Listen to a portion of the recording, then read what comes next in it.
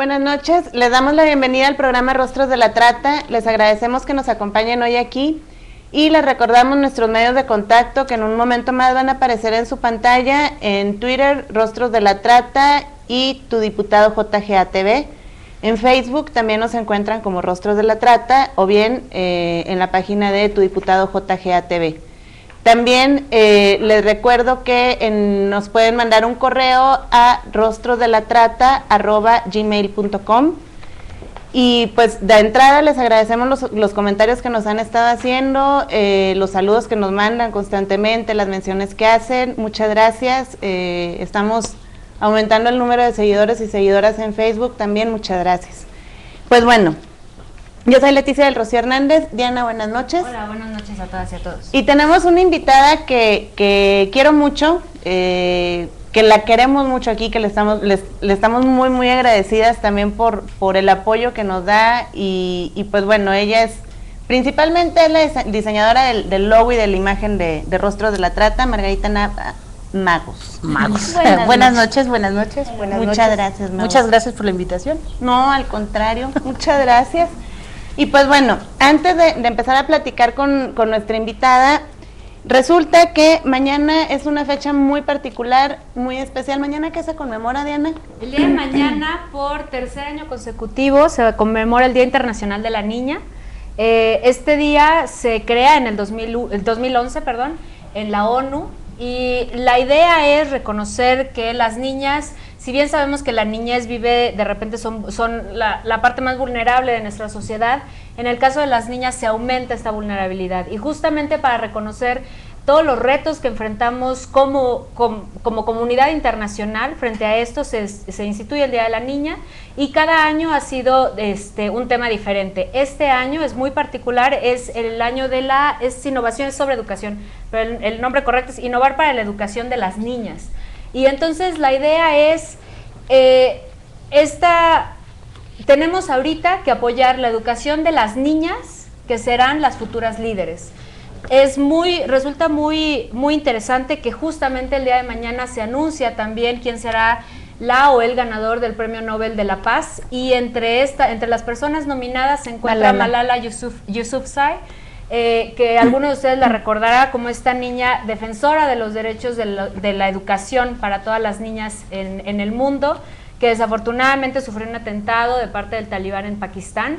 Y bueno, resultaría muy interesante que el día de mañana, ojalá, le den a ella el, el Nobel de la Paz. Este, de, de, de, todos modos, el tenerla ya como nominada es impresionante. Sí, el, el, el que, ya, el que ya esté como nominada es, es, es, bastante importante y la verdad es que sí sería muy emblemático que, que en, en, la conmemoración del Internacional de la Niña, una niña que, que, que ha luchado y sigue luchando y, y sigue haciendo una labor impresionante y una labor pacifista también a favor de, de, de, los derechos de las niñas, pues que ella ganara el Premio Nobel de la Paz. Entonces, pues bueno, eso es el día de mañana y pues me permite ahora sí presentar a, nuestra invitada, Magos, o sea, Margarita Nava. Es ilustradora y comunicadora gráfica, realizó sus estudios de comunicación gráfica en la UNAM al mismo tiempo que estuvo trabajando en, en eh, realizando acciones en, de, en organizaciones civiles y educación en derechos humanos. Ha colaborado tanto en el sector público como en organizaciones civiles nacionales e internacionales en el área de capacitación y participado en editoriales y revistas periódicas. Y pues bueno, también ha participado exitosamente en diversas exposiciones que, que ha realizado eh, y que modestamente generalmente no las menciona. Eh, también como, como tallerista es, es otra de, de, las facetas. La verdad es que es una mujer que tiene, tiene mucho corazón y mucha capacidad para realizar una actividad impresionante en favor y en defensa de los derechos humanos. Magos, desde tu experiencia, ¿cómo ayuda el arte a entender la realidad social a nuestra comunidad y a nuestro entorno? Yo creo que básicamente entenderlo es empezando como se empieza en el arte, o por lo menos yo voy a comentarles de mi experiencia a la hora de pintar o a la hora de dibujar, que es sintiendo y percibiendo una realidad y expresándola. Eh, yo cuando salí de la carrera decía, pues un doctor, un maestro, un abogado sirve para la defensa de los derechos humanos, pero alguien que dibuja como que puede quedarse atrás, ¿no? O que puede quedarse a un lado. tuve la fortuna de encontrar una organización que le da mucho énfasis a la prevención, que es Amnistía Internacional, en la sección mexicana, y ahí tuve la fortuna de encontrarme con un equipo de educación en derechos humanos en donde decía, eh, eh, eh, momento, nosotros necesitamos también expresar de alguna forma y comunicarnos con los demás eh, gráficamente o visualmente o con, todas las artes. ¿no? Y ahí fue donde empecé y seguí, una cosa llevó a la otra. Eh, en las organizaciones se requiere mucho de educación y de divulgación y ahí es en donde entramos nosotros. Sin embargo, creo que también la experiencia o la sensibilidad que es inherente a todo ser humano y el, como un derecho de si no es produciendo cultura es recibiéndola, es sintiéndola o analizándola y me parece que una forma muy creativa de difundir derechos humanos es este a partir de, de expresiones artísticas, la danza, el teatro, la música, no en balde, una de las cosas que son las primeras que se limitan en, los sistemas dictatoriales son la cultura ¿no? y las artes. Entonces, me parece que eso es muy importante. Así nos conocimos también en, acciones eh, hacia las personas, siempre buscando formas creativas, formas lúdicas para poder comunicarnos este, y hacer acción directa de derechos humanos, siempre en la forma también pacífica, ¿no? Exacto. Y dentro de, bueno, eso es para dentro del tema de cómo vamos a entender nuestra sociedad, pero en, particularmente en el caso de la trata, ¿Cómo, ¿Cómo, crees que justamente este, estas formas de expresión nos pueden ayudar a comprender un poco mejor esta problemática? Nosotros tuvimos una experiencia hace poco, ¿no? Eh, hicimos un graffiti, una pinta de bardas en Puebla, que es la que vamos a tener una nueva experiencia ahora el fin de semana. Y creemos que, por eso, por ejemplo, los jóvenes, una manera de expresarse, una manera de afirmar su identidad es haciendo grafitis. Eh, es, son maneras alternativas también de comunicación que no tienen nada que ver con eh, los anuncios en la televisión o con los eh, anuncios espectaculares, sino que es más orgánico, es más de agarrar un plumón y pintar. Creo que siempre ha habido alguien que no está de acuerdo, se expresa dibujando o escribiendo. Y nosotros tuvimos, este, bueno, el logo de, del programa así surgió en una acción también en el día... En la, carrera contra la trata que se realizó el año pasado, eh, la organizó el colectivo contra la trata, eh, y había ahí un, un, pedazo de papel que, ¿cómo se llama, Magos? Mm. Bueno, un pedazo de papel así largo, este, como color cafecito. Revolución. Eh, algo así. Papel craft. Es, papel craft, exacto. Y este, y pues bueno, ahí uno podía escribir este pensamientos que, tuvieran en, relación con la prevención de, trata de personas y, pues que además ahí es era padre, ¿no? Porque la idea era que las personas que estuvieran presentes se expresaran y dieran sus sentimientos, sus pensamientos, lo que, sus dudas, sus miedos frente al tema que estaba, eh, que además había mucha información. ¿Te acuerdas? Había ONGs, eh, personas que iban pasando, familias. Y fue muy interesante porque había quien escribía poemas, había quien dibujaba y ahí fue donde nosotros agarramos la pluma y nos pusimos los plumones. Y me parece que a veces, en mi caso, o sea, desde lo que yo puedo hacer, creo que la imagen visual a veces es como un gancho mayor de la imagen para hacer conceptos más elaborados. Y, y, también se me hacen, no, no sé, tengo esta, esta percepción. Por un lado está así la, la información eh, a la que podamos tener acceso, que podamos utilizar, que podamos difundir eh, información académica, eh, noticias, todo esto que, nos sirve para tener una, idea o un acercamiento de cómo está la situación de la trata en general.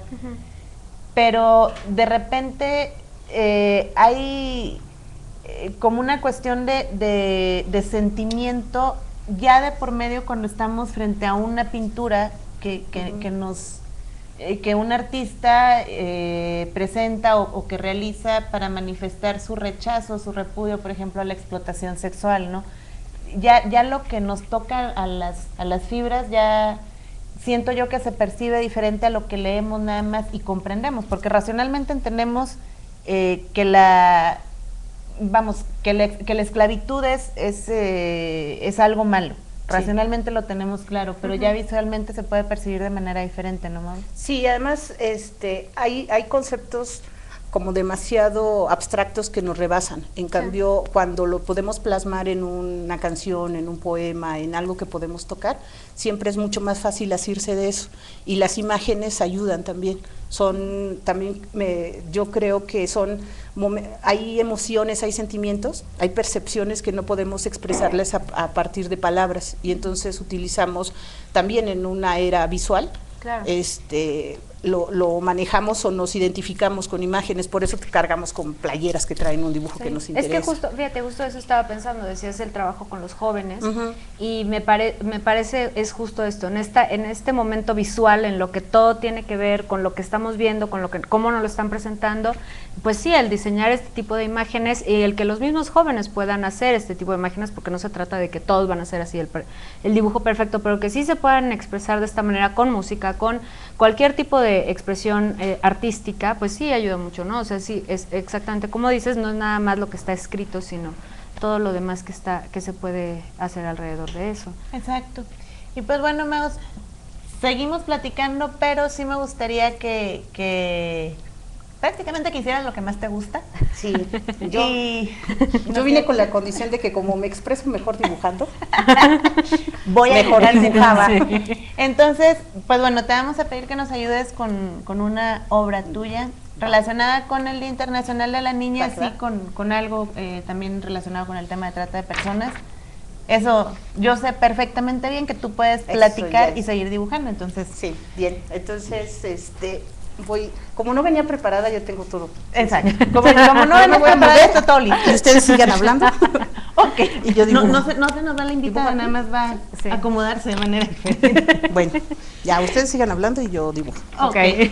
pues bueno, entonces, eh, sí, ha habido eh, en distintos lugares eh, muchísimas expresiones artísticas que nos hablan de este esfuerzo y, a mí, yo sí quiero hacer énfasis en, en, esto, este esfuerzo, sobre todo de los y de las jóvenes, en manifestar eh, su rechazo a, la trata de personas, en manifestar su apoyo a las personas sobrevivientes, en manifestar incluso en algunos momentos también eh, el rechazo a determinadas políticas públicas. Ahorita, eh, relacionado con, con, lo que comentaba Mago de, de, el grafitear como, como una forma de expresión de los jóvenes, decías, ¿no, Magos? Algo, algo así. En San Luis Potosí, en el mes de junio, el Congreso del Estado convocó a un concurso de graffiti y de hecho lo, lo llegamos a comentar aquí en el programa como, un, como una de las buenas noticias en, en relación al tema de trata de personas esta, esta convocatoria tuvo como tema central el prevenir el comercio, explotación y trata de personas. Participaron más de 20 jóvenes en, en este concurso. El primer lugar lo obtuvo Juan Ramón Sánchez y el segundo y tercer lugar lo obtuvieron Arturo Zavala y Sergio Adán. Y no estoy segura, a lo mejor por ahí van a pasar imágenes de, tanto de, del, del, evento de San Luis Potosí como de, de, otros que vamos a comentar a continuación. Mar del Plata. El, el, siguiente, el siguiente evento del que les queremos comentar es uno que se llevó a cabo en Mar, en Mar del Plata, en Argentina, el pasado mes de julio. Se realizó una jornada de arte en contra de la trata de personas organizada por la Fundación Alameda Mar del Plata. Eh, la idea era contar con exposición de obras de diferentes disciplinas plásticas, no únicamente dibujo, y con una temática de no la trata de personas, el trabajo esclavo, el trabajo infantil y el crimen organizado. Igualmente allá en Argentina, en Buenos Aires, este se me hace particularmente muy interesante. En una pared cercana a la Facultad de Medicina de Buenos Aires, un artista plástico repudió la trata contra la, eh, repudió, perdón, la trata de personas creando un mural, mural con avisos de oferta sexual para demostrar la relación existente entre la trata de personas y este tipo de publicidad. Eh, es, importante mencionar lo siguiente, en, Buenos Aires en específico tienen eh, prohibiciones para publicitar eh, avisos donde se hagan ofertas sexuales en radio, televisión y periódicos. Sin embargo, esto no ha impedido que eh, pues la imaginación y la creatividad de las personas que, eh, que organizan este tipo de, eventos, de encuentros y, todo, pues haga que peguen distintos papelitos en, en las esquinas y todo, como también lo estamos viendo en México, no, no es exclusivo de, de Buenos Aires, ¿no? Entonces, eh, lo que hizo este, este artista fue darse la tarea de recolectar eh, todos los, los anuncios y los avisos que hay y formó una imagen en, en una pared precisamente, bueno, tú ves la, la, imagen en la pared y es un rostro que, que, que está que transmite algo el, el, el rostro, así como, bueno, soledad, eh, desesperanza, muchas cuestiones, te acercas y ves todos los los, los, los teléfonos, las fotos y todo de, de, de los avisos eh, de, de, publicidad sexual, pues básicamente. Y pues bueno, también aquí... Los, en el DF. Sí, ah, también en el DF, sí, no, ya en el DF y para los que todavía tienen chance de ir. Se, eh, no, ¿Recuerdan? Ya, no, ya, no está, ¿Ah, ya, terminó? Ya ah, sí, ya terminó. Sí. Bueno, tuvieron chance de ir, lo siento. Eh, si recuerdan, tuvimos aquí, de hecho, también como invitados a la gente de Objetos 600. Este, es, esta puesta en escena realmente, que iba tenía diferentes cuadros y entonces hablaba del universo tanto de trata de personas, eh, particularmente de mujeres, también hablaba de prostitución y también hablaba del lenocinio. Eh, recuerdan, eso fue hace, estaban como a la mitad de la, como la mitad de la puesta en escena, ¿no? Sí, Más o menos. Exactamente. Principios de agosto fue que vinieron, por si uh -huh. quieren volver a ver el programa, ahí está. Búsquenlo con, con las personas de Objetos 600. Y pues bueno, también aquí tuvimos como, como invitada a la encargada de Relaciones Públicas de la obra de teatro Si un árbol cae, eh, una obra de teatro que también ha estado, perdón, ya, está ahorita fuera de temporada, pero de igual manera lo que presentaba esta, esta puesta en escena era la situación en la que, en, la forma en la que se pueden enganchar a, a, a, las jovencitas básicamente y también la forma en la que viven o sobreviven ya durante, durante el periodo de explotación. Es, es importante mencionar que ha habido más obras de teatro, más puestas en escena en, en distintas partes del país, y sí es importante también señalar que no siempre tienen la misma, ni, ni, ni los mismos espacios, uh -huh. eh, vamos, no se les permite de igual manera quedarse tanto tiempo eh, sí. por falta de presupuesto, porque la gente no va. De repente es como, como más fácil que vayan a ver una obra de teatro eh, o una película incluso sobre, pues no sé, sobre distintos temas. Uh -huh pero no precisamente esto, igual no se les da tanta difusión, ¿no? Por, sí, por distintas razones, ¿no? Y pues bueno, también un cortometraje. Un cortomet ¿no? Sí, un cortometraje dirigido por Marcela Supisic sobre la trata de personas. Eh, este es, eh, durante el 2011 participa en el onceavo Festival Internacional de Cine de Temática Sexual, el concurso iberoamericano de cortometrajes La Mujer y el Cine y el Festival Internacional de Nuevo Cine Latinoamericano en La Habana y bueno, declara básicamente el este, es de interés social por la legislatura de la ciudad autónoma de Buenos Aires, en Argentina otra vez. Resulta muy curioso que Argentina, bueno, eh, lo hemos comentado aquí, ¿no? Hay, hay muchas acciones ahí en, este, de prevención, de, este, de lucha en contra de la trata y bueno, también se ve, yo creo que si ahorita vemos los ejemplos que hemos dado, también en la representación de estos sí. proyectos justamente si no es en Mar del Plata, es en Buenos Aires, ahí, ¿no? O sea, que quizá podríamos también tomarlos un poco como ejemplos de las cosas que podemos hacer aquí, o sea. De hecho, yo, yo sí creo que sí los, los podemos tomar como, como ejemplo todo lo que se ha estado haciendo en, en, en Argentina y, a, y, además, Diana, pues no es una cuestión reciente, no, no, sí, no, es no, no, de, no es... de hace un año, hace tres meses o algo, no. no. Argentina... Argentina ya tiene historia combatiendo la trata de personas, particularmente tiene historia combatiendo por un lado sí eh, el, la, la, situación de prostitución, pero también la explotación sexual. Uh -huh, ya sí, ya sí. tiene historia. Aunque, pues bueno, eh, sí también hay que hacer mención que al menos yo no hay día en que no vea que eh, no dejan de pedir más claro. la en Argentina. Sí, es, esa es otra, otra cuestión que me parece que son eh, bastante puntuales en sus demandas y en sus peticiones y en decir, bueno, que sí está bien, pero que crees que fíjate que también aquí hay nos falta tal. esto, nos falta aquello. Vamos, no es, no es decir, bueno, ya tenemos una, una legislación, ya tenemos un reglamento, entonces ya vamos a dejar que las cosas funcionen solas, uh -huh. ¿no? Y no lo estoy hablando por nuestro país, sino, sino en general. En general. Y también eh, es en la semana pasada les comentábamos aquí de, una campaña que eh, realizaron jóvenes estudiantes, eh, hombres y mujeres, en la Universidad Autónoma de Querétaro. Ah. Eh, la campaña se llamó Juntos nos cuidamos.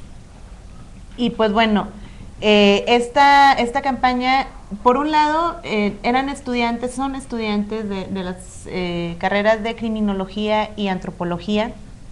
Y por otro lado, lo que hicieron fue estar hablando de joven a joven.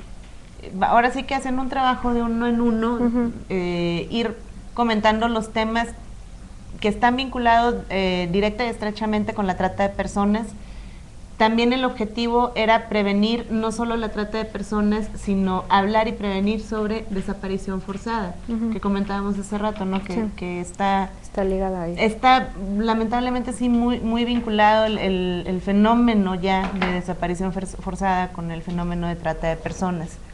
Eh, todas estas acciones y, bueno, muchas más que, sin duda sí nos faltan mencionar que se realizan en nuestro país no sé qué opinas tú, Diana, pero yo creo que por un lado sí nos habla de, una sociedad que poco a poco eh, comienza a interesarse más en el tema de trata de personas, pero también y principalmente que, comienza a interesarse más en prevenir y en informar a sus jóvenes. Sí, me parece que es muy importante. Y ahí también, regresando a lo que decía de, de, este, de, esta, de esta idea de hay que involucrar a los jóvenes, como, como sea, la iniciativa de, Querétaro, la iniciativa que están también este, en diferentes estados, en Puebla, en, en Tlaxcala, algunos en el Distrito Federal, la, esta idea de involucrar a los jóvenes es básica si queremos en verdad hacer algo. O sea, hemos visto más y más eh, por diferentes cosas que son los jóvenes y, las niñas y los niños quienes van a ser este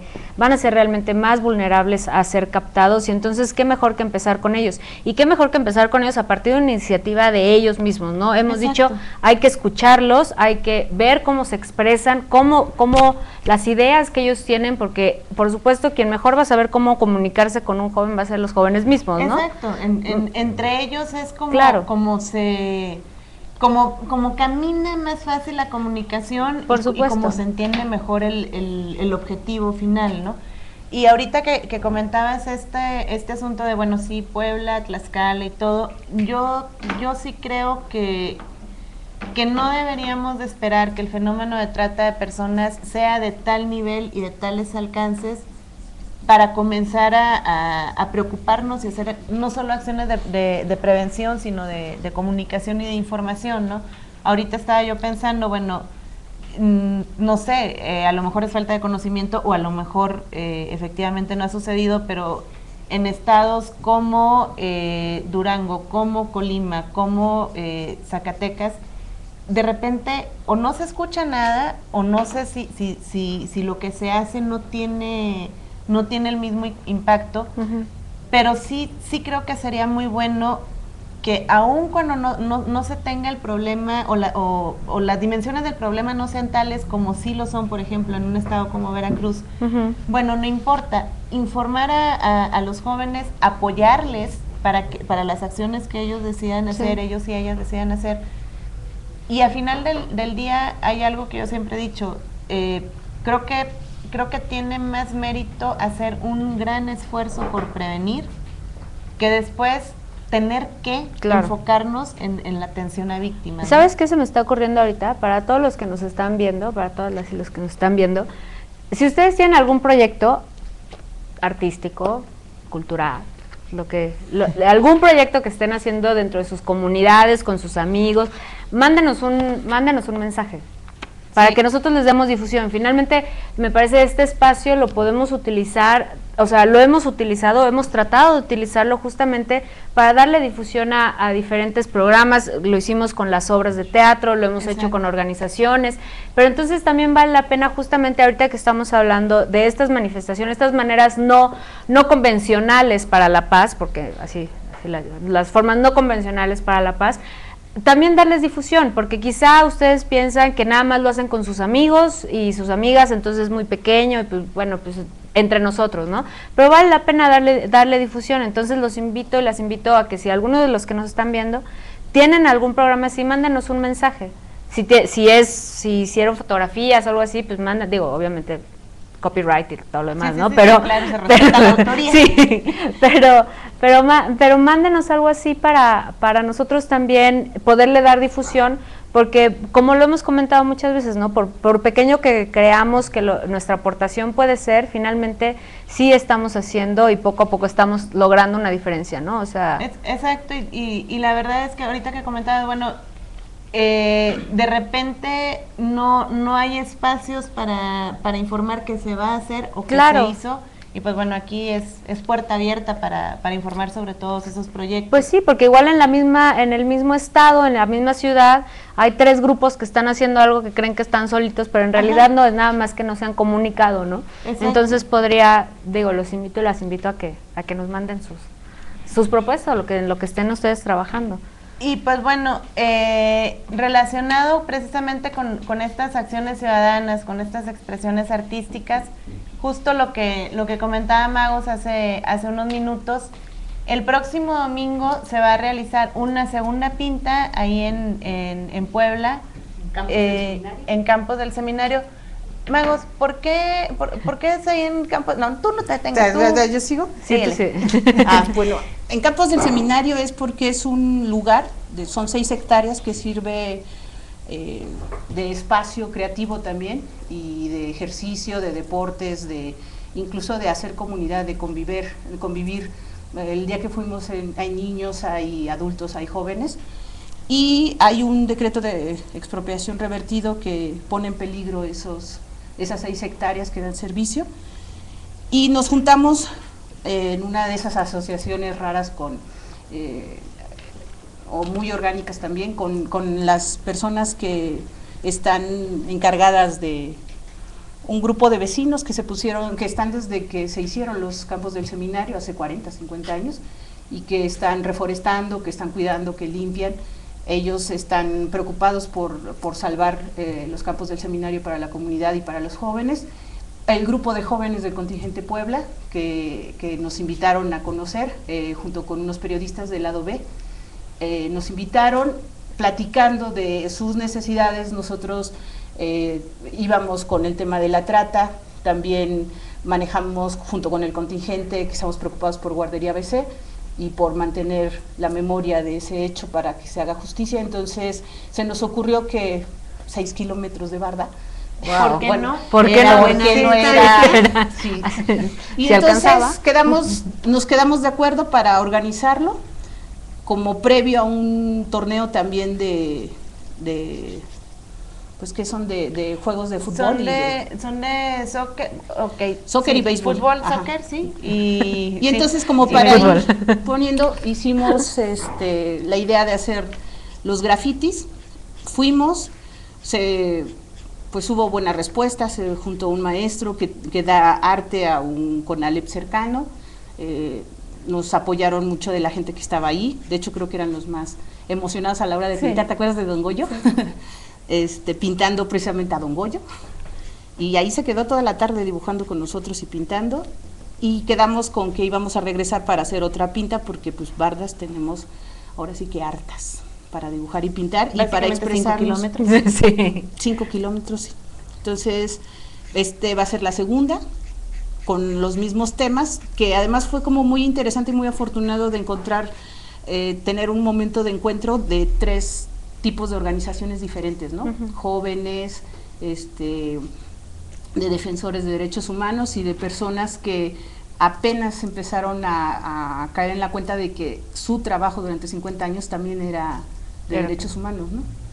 Sí, y, además es, muy bonito ver, ahorita que, que comentaba Magos, es, es, muy bonito, es muy bonito grafitear. A mí particularmente ya descubrí que tengo alma de, grafitera, pero además de eso, no, pero además de eso, es, es muy bonito ver cómo eh, en el transcurso en el, del, del, día, porque pues sí fue prácticamente un día, en el que se estaba haciendo la pinta y todo, la el interés por un lado, pero también la, la pues la curiosidad de, de, de jóvenes, principalmente varones, en el mensaje que se iba desarrollando en, en la pinta, y, y si ves las, las distintas reacciones, así, primero con, casi con escepticismo así de ah, pero ¿por de desconcierto, ¿no? Sí, eso ¿Qué están haciendo aquí? o sea, y, y, qué tiene que ver estos colores? O sea, primero de, escepticismo, de desconcierto, sí, eh, un poco de sorpresa, pero ya después, aun cuando no estuvieran pintando, sí cuidaban ellos mismos, pues, que, que, la, que la pelota no te llegara, o ten cuidado si vas corriendo, eh, aquí hay una persona que está pintando. Digo, tampoco estábamos pintando en medio del campo, ni, ni, estábamos invadiendo su espacio, ¿no? Pero eh, la, la, comunidad, a final de cuentas, este, la, la, comunidad de final de cuentas, es que perdón, no entendí un mensaje que vi ahorita. La, la comunidad de final de cuentas se, se involucra, se interesa y si le dejas ahí una semillita y un, un, mensaje a interpretar después. Sí, sí claro, esa es, una semillita. O sea, con que dejes un cuestion, cuestionarse el qué hace esto aquí, por qué, por qué me tendría que interesar o me tendría que interesar, ¿no? Exacto.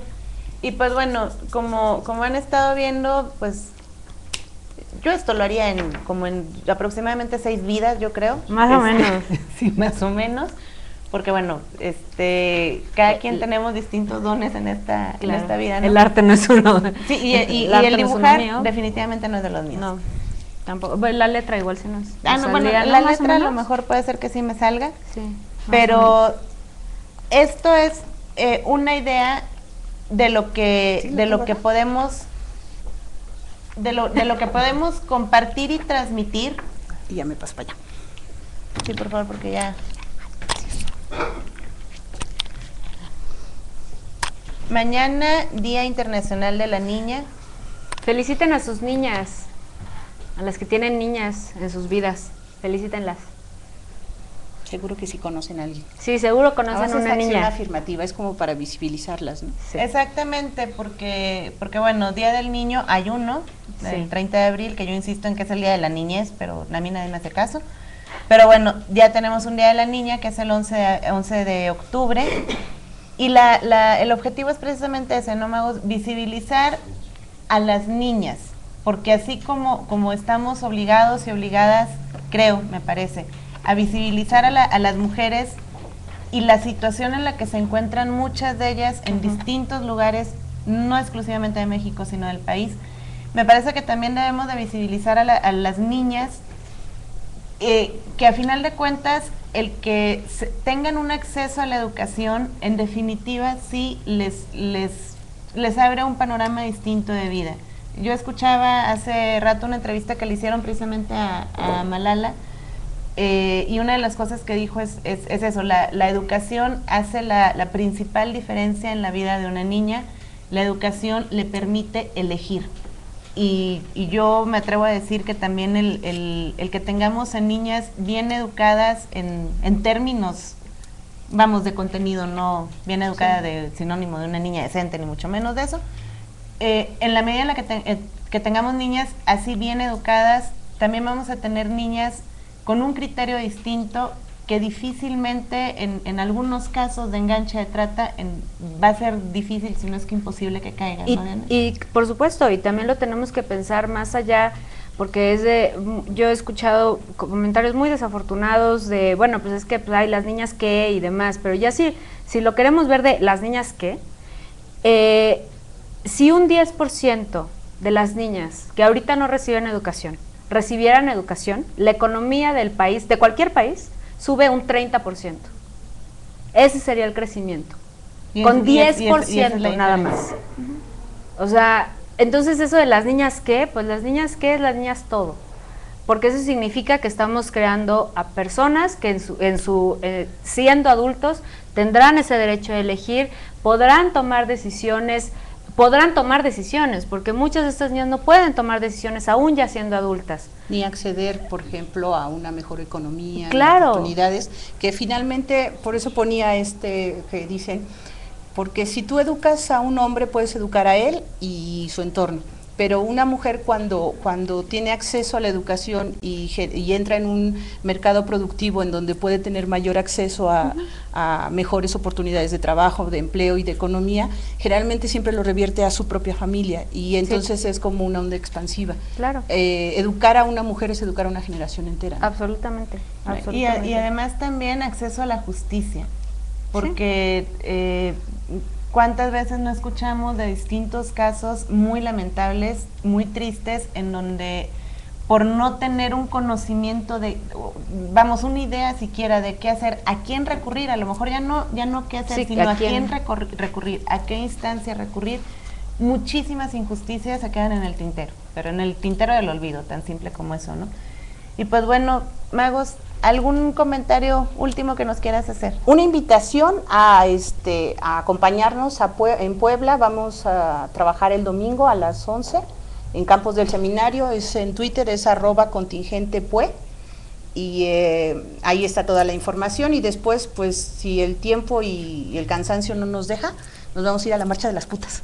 Ah, además también, esa es otra que, que ya les platicaremos cuando estemos de regreso, que que pues bueno, se hizo una hace dos años aquí en el Distrito Federal y, yo no se he repetido, no, no sé por qué, pero creo que han habido, ha habido muchas cosas en distintas agendas pendientes. Yo pregunté, me dijeron que iban a pasar a otro segundo nivel. No sé todavía qué, significa eso, pero... ¿Qué, significa? Pero yo estoy a la espera, ¿eh? Oh, pues del siguiente nivel. Yo, también sigo en espera o de la marcha de las putas o del siguiente nivel de la, de la misma marcha. Este, y pues bueno, Diana, muchas gracias. Muchas gracias, muchas gracias. Muchísimas gracias, gracias. Muchísimas gracias a ti. Eh, muchas, les, les, agradecemos mucho que hayan estado aquí, muchas gracias en verdad. Eh, seguimos pendientes de sus comentarios, de sus sugerencias, incluso también les agradecemos mucho las sugerencias, no, no lo comenté al inicio del programa. Y ahorita a continuación, eh, no se pierdan el programa de respuestas con el licenciado Jorge Gaviño Ambriz y la siguiente semana no se vayan a perder el programa, vamos a tener un invitado muy especial, ¿verdad Diana? Así es. y un tema muy, muy interesante. Muchas gracias, buenas noches. Buenas noches.